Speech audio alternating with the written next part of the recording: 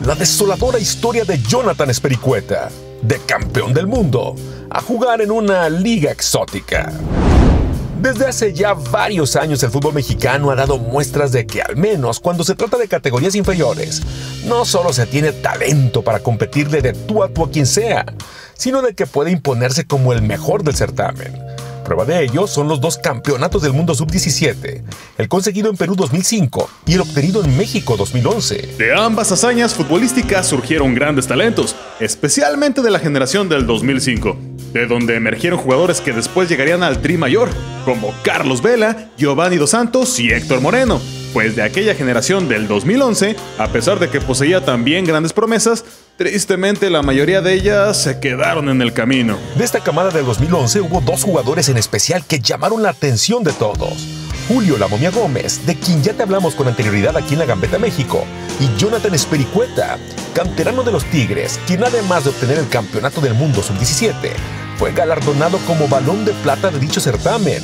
pero que tristemente su carrera terminó jugando en una liga de lo más exótica. Normalmente cuando se celebran los campeonatos del mundo con límite de edad, tanto aficionados como visores del fútbol profesional se dan cita para buscar a los jóvenes cracks que pueden convertirse en las nuevas estrellas del fútbol mundial.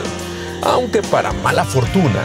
algunos de los elementos que logran destacar en este tipo de torneos, y especialmente en esta categoría, muchas veces no logran consolidarse o dar el estirón hacia el balompié de élite.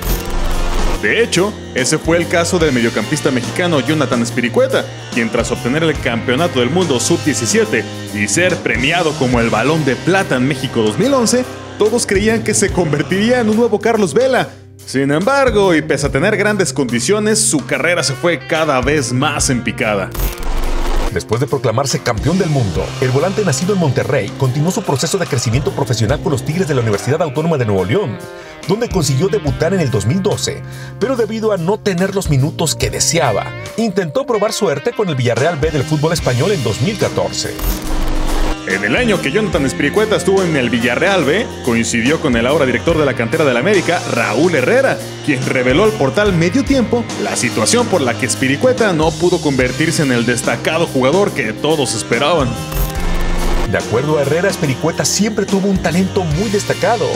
pero a su consideración le faltó creer más en él mismo y en que podría dar aún mucho más para tener una exigencia más alta. Después de su experiencia en el viejo continente, Espiricueta regresó con los Tigres, después pasó por el Atlético de San Luis y Puebla, antes de recalar en el Atlético Veracruz, de la exótica Liga de Balompié Mexicano, donde actualmente milita con tan solo 26 años. En dicha liga, Jonathan parece haber encontrado una competencia en la que se siente cómodo, pues ha lucido con varias actuaciones destacadas, pero ni hablar, ya es otro caso más de una promesa del fútbol mexicano que quedó en eso,